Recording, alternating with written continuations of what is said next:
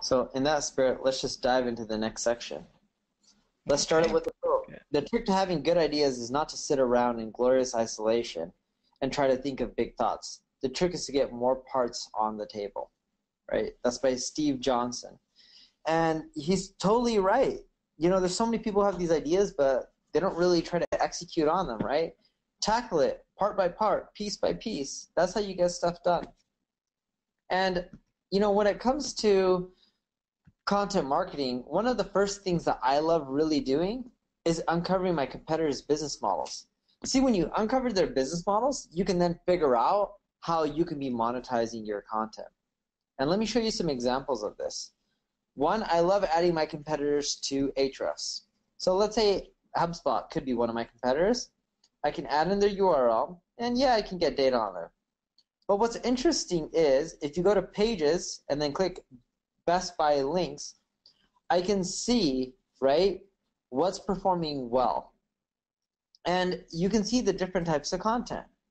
You can see what's doing really well based on links, right? And links hold a lot of weight. You want to see what people love, what they don't love. This will all help you determine, all right, this is what your competitors are doing. You can also go to link domains. When you go into link domains, you can see who's uh, who's linking in. These are their strategies. For example, if they're linking out to let's say Grader, that's their website Grader where HubSpot is generating traffic from their content. They're linking out to their Grader, which is then an analysis tool. From the analysis tool, they try to convert you in a lead and a customer into HubSpot. Or if they link out to freestockphotos.org, there must be something there. Why are they doing that? Is it an affiliate push? Is it a site they own? Right? What is it? By finding out all of this is really valuable. You then want to review what pages rank really well to see what you can end up doing to do better, right? Because if this is a top page for your competitor, it could be a top page for you too. For example, HubSpot has a lot of popular content pieces. One of them is on video editing software. Now, if you're going after video editing software, cool. You now know have a you now have a post type that you can look at and be like, I need to create something way better than this. You can then also sign up for their emails. You want to make sure whatever your competitors are doing, you're signing up for their email list so you can see what's happening. When they make a change, when they make a new announcement, when they're doing a pre-sale, you want to be on their list so you know. You can use your email, you can use your Gmail address, whatever it may be. If they have ebooks, you want to end up downloading those strategies so you can see what kind of content they're producing, how they're generating, you know, sales. So now let me go into detailed examples. Here's some affiliate examples, right? Here's Wirecutter. They're showing headphones. This is pretty cool. Great way to end up generating sales, right? You can also see Best Portable Grills. They're pushing out new things that works out quite well for them. If they're pushing it that hard, they must be doing quite well.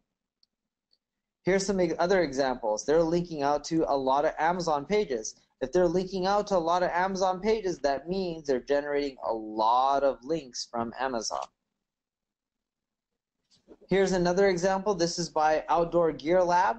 You can see they're rating the shoes. You click, you buy, they make money.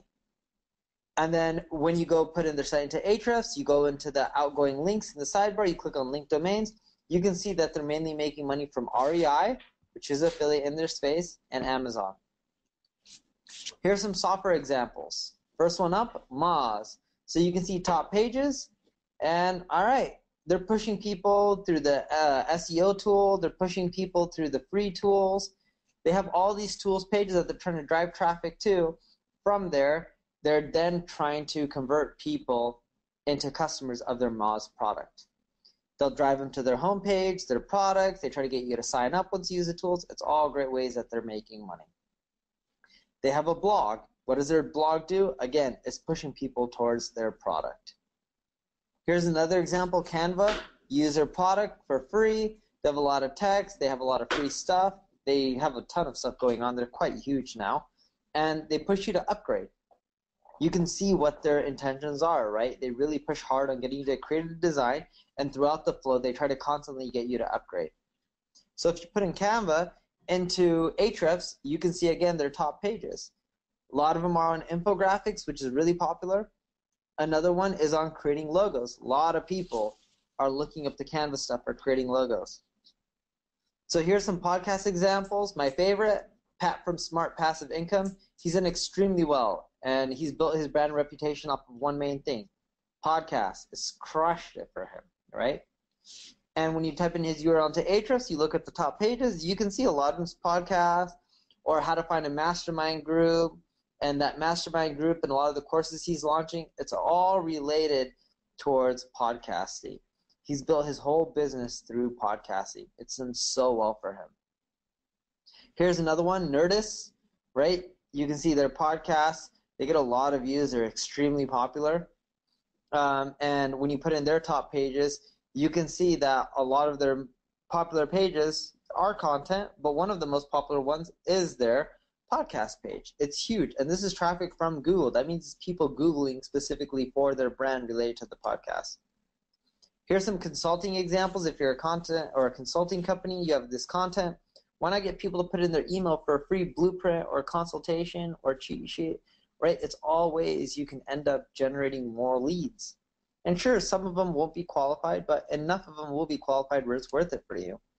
And when we put this URL into Ahrefs, you can see, right, eight tips for winning effective consulting proposals. Um, another one is their homepage, and it ranks for successful consulting. Another one is nine ways to get more consulting clients. And then they can, you know, sell courses and information and products on consulting, or they can consult you on how to grow a consulting business, which is a great strategy. Your own products. This is one that's one of my favorites.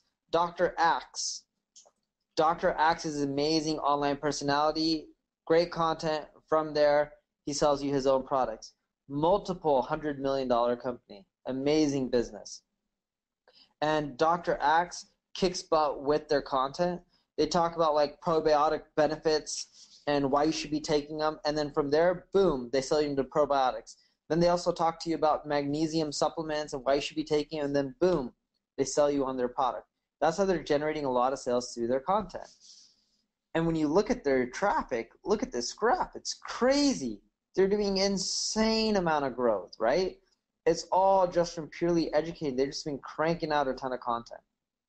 And Dr. Axe tactics that they use is pretty much what we shared in our Advanced Content Marketing Summit, and we've added that to your members portal. So if you want to find out how Dr. Axe has just grown through content marketing, watch that video in your members portal. Um, Axe Wellness, you can see this is their revenue, inc- uh, the third fastest growing company, right? And that's in their category, and that's crazy. $46 million in revenue and they're even larger now. I think they're over a hundred million in revenue. It's so crazy. You have to keep in mind the Inc. 5000 list, the 2017 list. That means the revenue data is from 2016, um, so it's a bit behind, right? Or 2015. It's one or the other. So course examples. Amy Porterfield, you guys have all heard about her. She has all these YouTube ads talking about courses. She has content. She's done really well from her podcast, and then from there, she drives people into buying her products. If you look at her top pages, right, a lot of it's related towards her podcast. Her number two page, other than her homepage, is her podcast. So, some action items create your, uh, there's content creation template compilation, right? There's an ultimate headline formula, and there's a write a roundup post draft. I want you to do those three things and once you start doing those three things and take those actions, you'll be creating content. And then next week, we're going to be building links to it. So that's it. Any questions, Vignesh? Um, there is one question, actually, one comment from Jim, which was um, in your posts, know, you tend to mix words, pictures, infographics, micrographics, videos, all of it together. Can you talk a little bit more about the, strategy behind that? Because that's really powerful. Yeah, it's getting people to engage. So I found that not everyone wants to read all the content. Uh, some people are visual learners, so they're like skimming through the images. I found that some people prefer uh, audio, so I also have video slash I have, you know, you can just listen to audio if you don't want to watch the video. So by having all these content types, people are getting the education one form or another. Now, of course, if someone went through everything step by step, they're much more likely to do better. But hey, if they can't, then you know they can at least get something by doing one of those content types. Awesome. Uh, one other thing that I've noticed is you always link out to influencers in all of your posts. So is that to get links back from them? a say, lot of them or... back. A lot of them do share my content. It's more so just citing my sources. Mm-hmm. Um, I talked about this earlier.